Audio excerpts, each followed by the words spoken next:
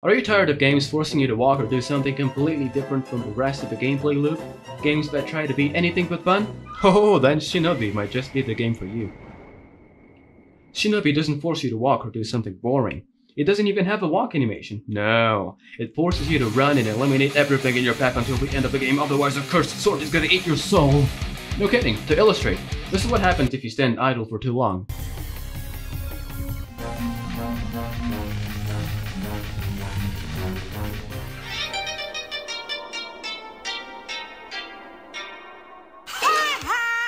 Gentlemen, I'm not kidding when I say this is one of the coolest ninja games you'll ever play.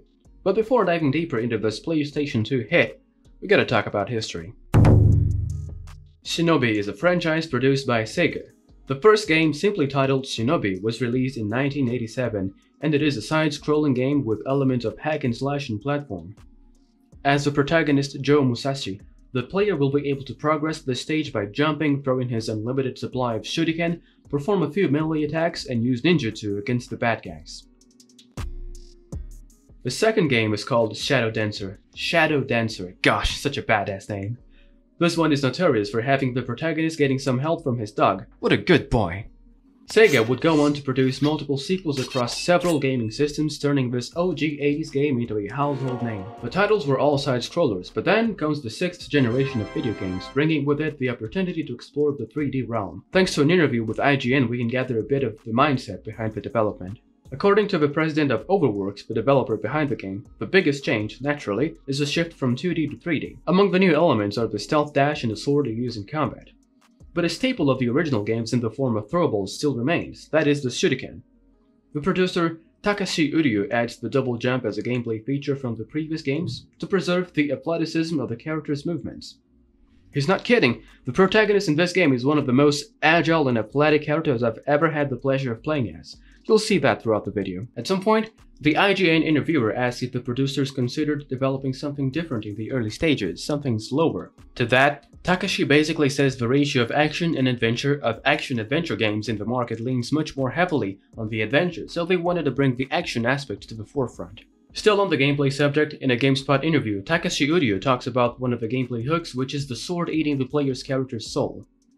The team did that to encourage players to keep the action coming and fight the enemies instead of the trend of avoiding enemy combat in games at the time. It's interesting to see the team wanted to tackle the different sides of a ninja fiction and focus on the action, amidst the titles in the market focusing on stealth. The producer didn't mention any franchises, but what comes to my mind is franchises such as Tenchu that employs a stealth-oriented gameplay. With that background in mind, you know we're talking about an all-out, pure-blooded, no BS action game, so let's talk gameplay, shall we? The game features a mix of action and platforming. Hotsuma, the protagonist, is agile enough to double jump across the stage aside from clinging to and running on walls. Differently from other games that feature wall running, Hotsuma can stay glued to the wall for as long as needed. The game keeps calling those shuriken, but come on guys, I've also watched Naruto, that's a kunai, so that's how I'll be referring to it. You can throw them to paralyze enemies then strike them with your sword, Akujiki. Akujiki is written with one kanji meaning to eat, and another having evil as one of its meanings, so you could say it is an evil devouring sword. The sword will feed on the yin, the evil energy of things. If remained unfed for a long while, the sword will start consuming the player's yang.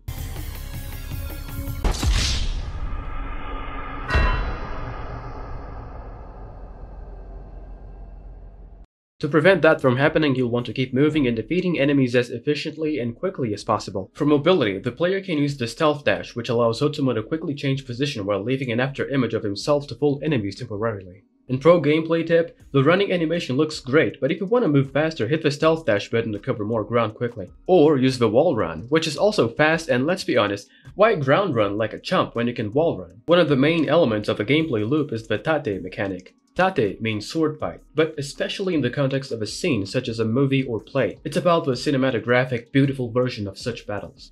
To achieve that effect, the player must eliminate enemies which will remain frozen in place temporarily. And before the timer runs out, you must kill the next and the next increasing Akujiki's power in the process. That will be visually apparent when the sword changes color starting from blue. When the sword changes to magenta, it will be in its most powerful state, allowing you to one-shot enemies easily culminating in a badass animation of your enemies getting torn to pieces after Hotsuma strikes an awesome pose. I shall have my revenge. Tate not only looks dope, die.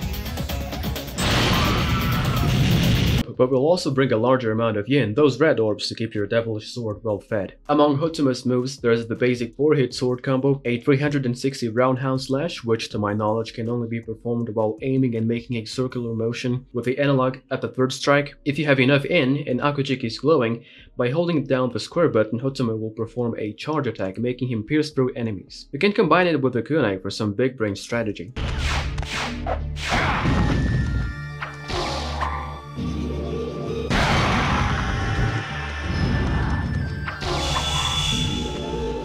At the height of a double jump, you can press triangle to unleash a kunai burst and paralyze several enemies at once.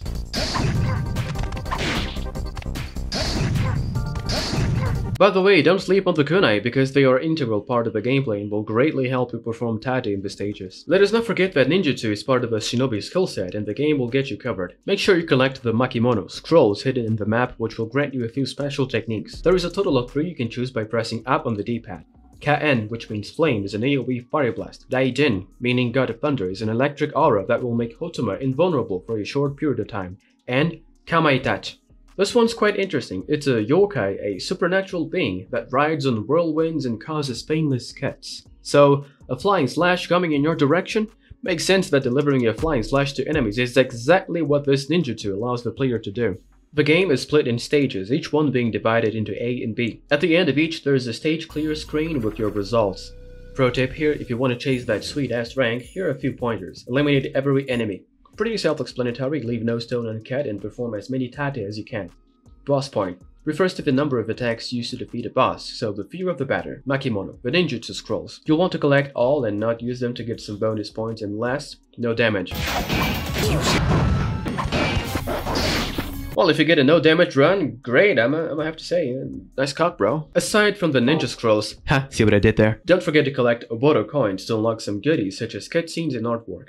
And listen, the thing about the gameplay is that it's just so fast-paced, so focused, the controls are so responsive, there's just something about it. Is there a name for it?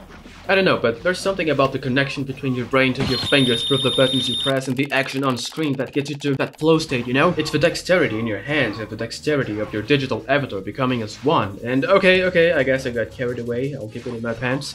What I mean is, this is the type of game that makes you remember why you like playing video games.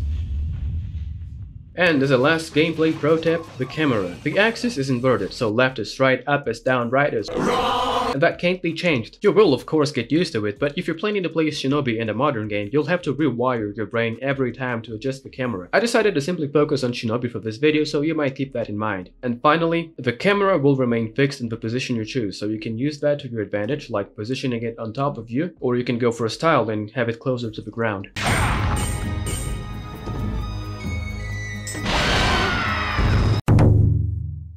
Terms of presentation, in my opinion, the Shinobi makes great use of the PlayStation 2 capabilities. The game is fast-paced, characters look detailed enough without that blocky aspect reminiscent of the PlayStation 1. There's a good mix of technology and Japanese tradition in the environment. And that scarf, my goodness. Tell me that isn't the coolest, most fluid cloth physics you've ever seen. From the programmers that coded that scarf, I have two questions. One, what did y'all smoke? And two, do you have some more? Not gonna lie, cloth physics is another thing I love about video games, so this is me clearly foreshadowing another video. When it comes to enemy variety, there are regular shinobi, the variants that block attacks, the flying hellspawn, the big boys, kunoichi, and there's the BDSM looking bitch who clings to walls and throws those paralyzing kunai at you. Oh, let me not forget the canine ones. There's foxes and dogs. Do you like dogs? Do you find them cute? Adorable? Bet you're gonna love the sword wielding type.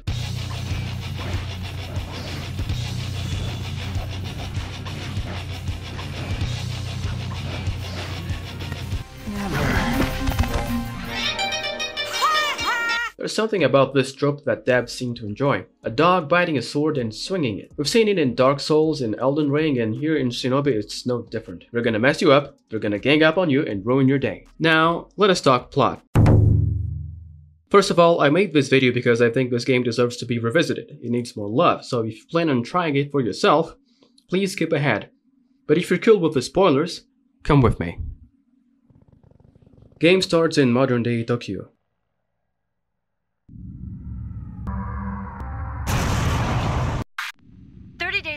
Since the earthquake struck Tokyo. A mysterious golden palace has appeared in the center of the capital. The city faces a calamity while a helicopter approaches to respond. Inside it, Hotsuma, the protagonist, who decides to touch down in the coolest fashion possible.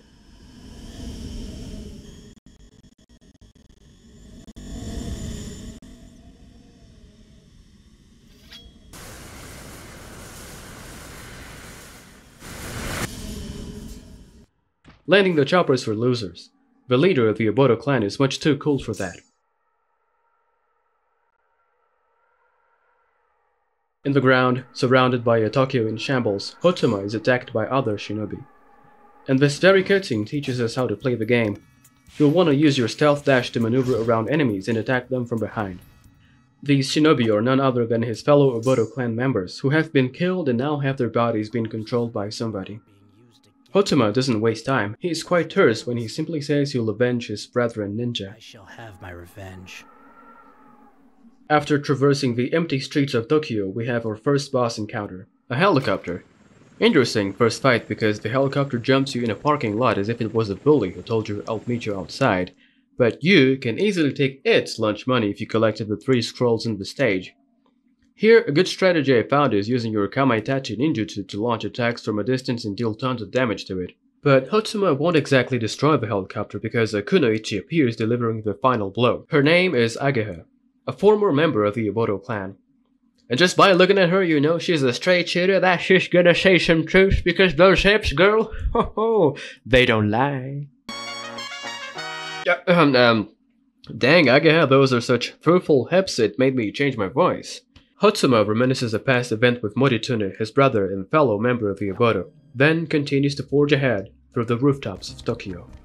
And in the same rooftops, the game seems to cross over with the Die Hard universe with a reference to Nakatomi Plaza. At the end of that stage, Moritsune appears as the boss battle. He seems out for revenge from the time when Hotsuma slit his throat with Akujiki, even though Hotsuma himself appears to not recognize him. The tense encounter wasn't enough to keep the developers from placing a little subliminal message in the stage. Skill up, huh? Come on, is that a dig? You saying I have no skill? The game is probably right. At this point in the first playthrough, you might still be learning the controls, so Moritsune is likely to kick the player's butt. So, indeed, you gotta skill up. You have to get good. Moritsune will keep spamming the thrust move if you're not careful. The idea is to use your kick to open him up and get some hits in while being careful not to fall to your death or get swarmed by the shinobi he spawns. Or, if you have the 3 to scroll, the fire technique Kaien can be very effective. After the first encounter, the player can consider this as the true beginning of the game, because after tasting Moritsune's blood a second time, Akujiki awakens and it will be unsatiable for the rest of the game. Akujiki has tasted my blood, drank of my soul, and has finally awakened. Also, that bully chopper appears one more time trying to hit a missile on our boy Hotsuma, which he dodges with a sick move.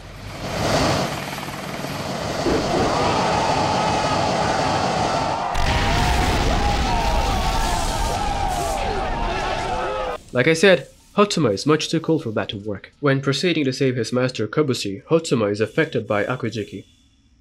While he staggers, Ageha, who was keeping tabs on his movements like a good shinobi, reveals the danger behind Akujiki. Souls of people are made up of evil and good, yin and yang.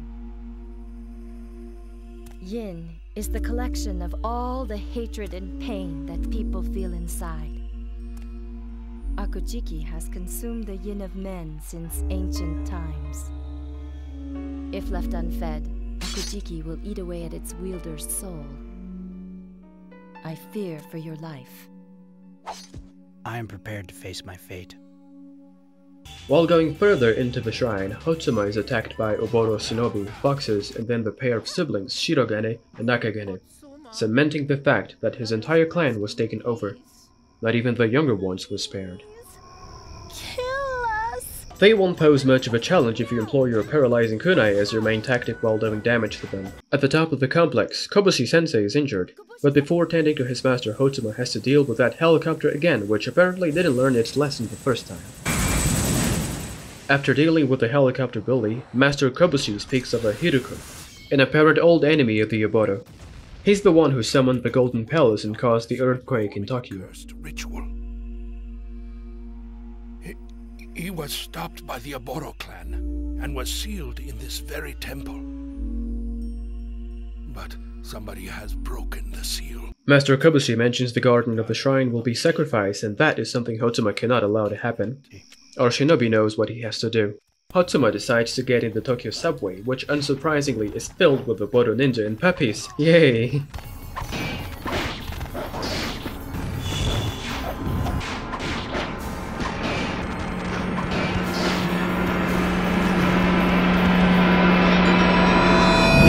Standing in the way is Hakuraku, the dog whisperer boss, who can be rather annoying, but I figured a good strat is to kill the dogs to build up power in the Akujiki then slash away at him.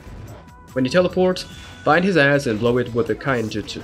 If need be, use a kunai burst to paralyze everyone including the boss and put Akujiki to work. And after trudging through some cobwebs and hearing Hotsuma make the funniest sound, the only way out of the subway is through that a mix of spider and tiger, so that's a spiger, a tiger. Anywho, makes you wonder if that monster is another Oboro Shinobi or Hell Spawn, and the answer is yes. Hotsuma continues to seek after the garden of the shrine who was inside one of the spider cocoons until she disappears. Next up is the Burnt Village stage, where Hotsuma finds a fiery shinobi called Homura. Then, a butterfly lady who had the garden captive. Lady Butterfly goes out with a bang, causing Hotsuma to flee with the girl before they both turn into barbecue. She's Kagari Ubusuna, the garden in charge of keeping Hiruko's spirit sealed. Hotsuma also learns of the sorcerer's devious plans. He's trying to rebuild Yatsurao, who was defeated by the Oboro long ago. It is a weapon powered by the spirits of people killed in the earthquakes that have stricken Tokyo since times of old. And to reactivate Yatsurao, I was to be sacrificed. And before you know it, god damn it, out of the fire into the flood, oops, there she goes, snatched away again. The next fight is with Kongo, who seems to be straight out of Baki with that face on his chest. And, apparently, he's a valiant warrior who always wanted to test his might against Hotsuma. Just be careful when he swings his huge pet shuriken and the fight won't be that challenging. After that, Kagari asks Hotsuma to kill her, for that is the only way to prevent the weapon called Yatsurao from being rebuilt. Hotsuma has been put in that position before.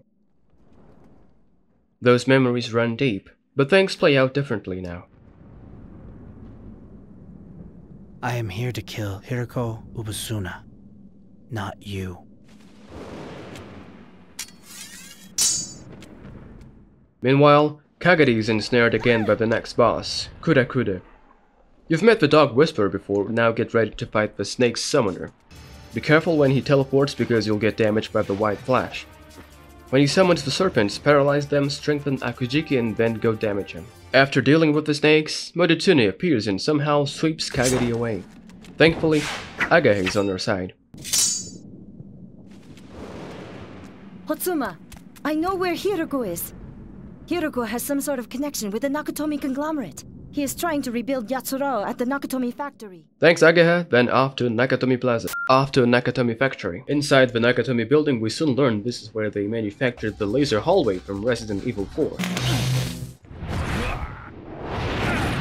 Speaking of hallway, this is where Hotsuma fights Kisame, the blind swordsman. He can be really tough at first, but the way the fight plays out, it's quite clever. I confess I had to check a guide on GameFAQs, but it all makes sense. Is that the extent of your abilities, Master? The area is flooded. Naturally, the swordsman will be attuned to the waves caused by your steps. So you'll want to hug the walls and wait for him to summon the Hellspawn. Watch out for the laser and when Akujiki is at max power that should be enough to bring the fight to an end. Having defeated the swordsman, it's time to confront old man Hiruko and his special weapon Yatsurao. The big statue seems menacing, however, gameplay wise it can be easily manageable by harnessing Akujiki at full power or ninjutsu. Hotsuma defeats Yatsurao whose overflow of yin causes the sorcerer to become young man Hiruko.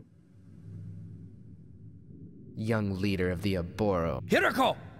Hotsuma cannot yet bring him down because a familiar face stands in his way. What's the matter?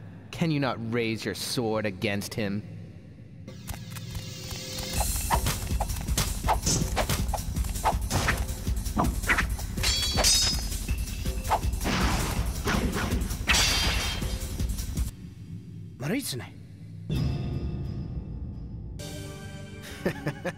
Hiruko escapes once again, but not before extending an invitation.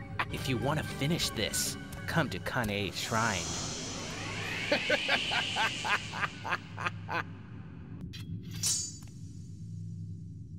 Get out of here. It's too dangerous. What about you? I must go to face my fate.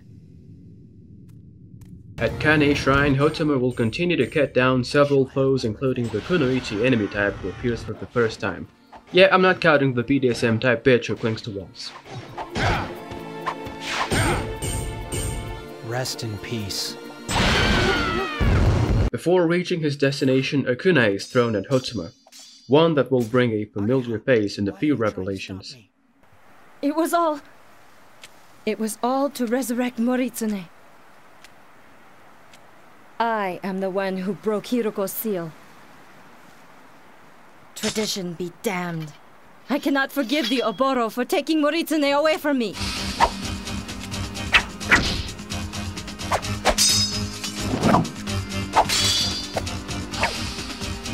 The duel you fought with your brother. It was not to decide the next leader.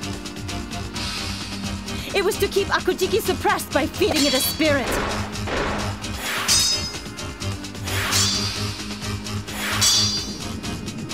Why? Why did Moritsune have to die for that? Is that why you had the Oboro killed? I.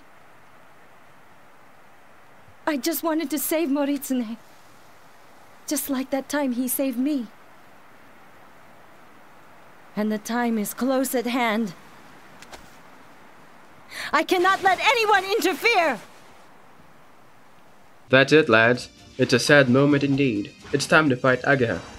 Gotta tell you, when I reached this boss, I didn't want to fight her. I kept thinking, will Hotsuma really be forced to kill all his fellow clan members and his friends? Well, time to toughen up and face her. Despite the emotional charge in this stage, Ageha is a really fun boss battle because she's an equal to Hotsuma. She's got the swiftness of an Oboro shinobi, including the stealth dash technique plus the paralyzing kunai. You'll even realize some cool details such as Ageha apologizing after killing you. Please. Hotsuma prevails against his childhood friend. Injured, Ageha flees into the woods. And there he is. The one she loves. Ageha inquires Hiruko if the resurrection ritual is complete and hugs Moritsune, but then...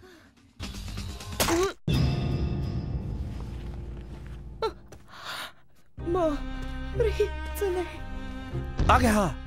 The resurrected Moritsune is now nothing but a shell. A vessel for Hiruko's evil designs, or more specifically to carry the Hellspawn Lord Aomizuchi. Yet, there is no time to mourn. Hotsuma must fight his brother one last time.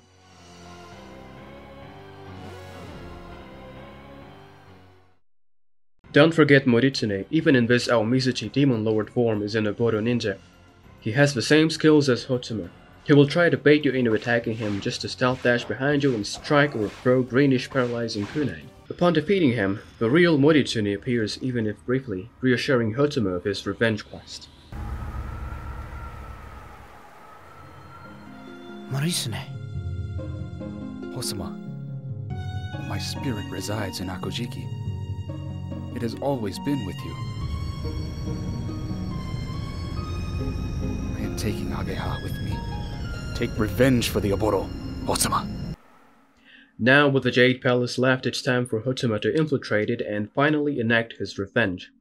You will make your way up and realize the stage boss must be the most unexpected, fearsome, and challenging fight yet. It is such a momentous task. It- It's a it's a gate. No kidding. The boss in stage 8A is a gate.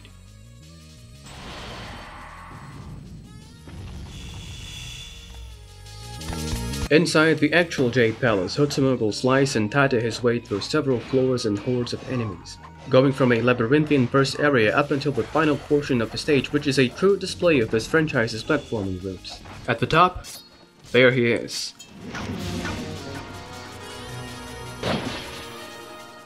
Of course, Hiruko won't resist giving us a little speech before the final confrontation. Just rubbing it in how we played right into his hands by eliminating the entire Oboro clan and giving him the power he needed. all to stain your hands with the blood of your own people. You made me collect everyone's souls on purpose. Of course. This world is full of filth. In the last century, science has evolved, but have the hearts of men. Hey, actually, that's kind of a nice quote. Oh. The gap between those with power and those without has grown. Greed and war blanket the earth. Hey, Hideko has a few points, but no matter. I'm a man on a mission, and my mission is to kick your ass. If you want this life I threw away when I killed my brother, you can have it. However, I shall destroy you along with this accursed blade! For a final boss, Hideko can be rather annoying because he's a damage sponge. He's gonna summon a few minions so you can kill and power up Akujiki as all the other bosses do, but they are usually so far apart for you to take them all out and even with Akujiki glowing magenta, Hideko will need many hits until he's down. So, what I'm trying to say is the final boss is the only one I thought dragged the game down just a tad and Hideko you have my permission to go f yourself. After a long, arduous battle that will not so much test your skill, but mostly your patience, at least in the normal difficulty, Hideko, the evil sorcerer who wanted to bring about chaos to the world, is finally defeated. Hotsuma is the one left standing, as Akujiki apparently eats up one last yin energy, as the entire Jade Palace crumbles around the last shinobi of the Oboro clan.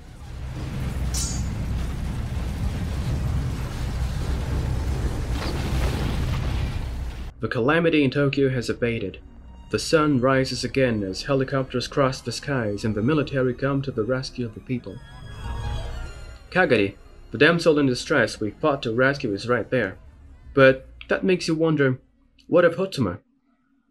What happened to our protagonist? I guess that will be left to speculation, to the imagination of people. After all, the ninja are no strangers to being shrouded in mystery and secrecy. Hotsuma is no different. And as the credits roll, I ask myself, is this a Greek tragedy or should a shinobi fiction? Hotsuma was forced to kill all his clan members, his brother, his childhood friend, and even his master did not survive. Sheesh. It's a sad state of affairs when you stop to read into it, but hey, I still enjoyed the game as a whole, and I sure hope you've enjoyed exploring the game's plot with me so far. Additionally, there's so much action in this game the player will hardly have any time to be depressed. This ain't a Sony exclusive, come on. Now that we're done talking about the plot, how about the good stuff after you beat the game? Firstly, the game's a bit on the shorter side, but just like what I tell the ladies, it doesn't matter how long it is. This game is built for replayability, so if you want to get the most out of it, you'll want to beat it on normal, unlock hard mode, then do the same and get super and go at it again.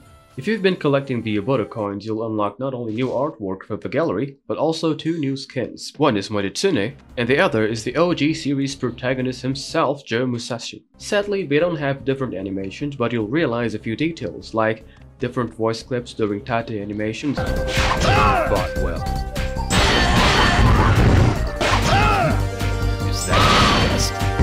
And Joe Musashi doesn't carry Akujiki around, so no worry about it trying to eat your soul. And, just like in the 2D games, he has an infinite stock of kunai, but not of a paralyzing kind.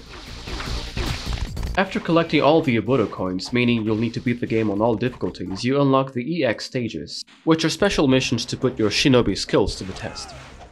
These even include a new enemy type, that giant millipede thing. This game got a sequel called Nightshade. Yeah, such a badass title. But the Japanese version is even more badass. We know that Shinobi is the male ninja, the female ninja is called Kunoichi. Yeah, I guess what's the Japanese name? Exactly, Kunoichi is the Japanese title. Shinobi and Kunoichi. Amazing. This game's protagonist is Hibana, and you can see she's got um, um great uh, uh, um, ninja skills, that's what I mean. Nightshade slash Kunoichi might as well be the next video, but I thank you for watching this one. See you next time.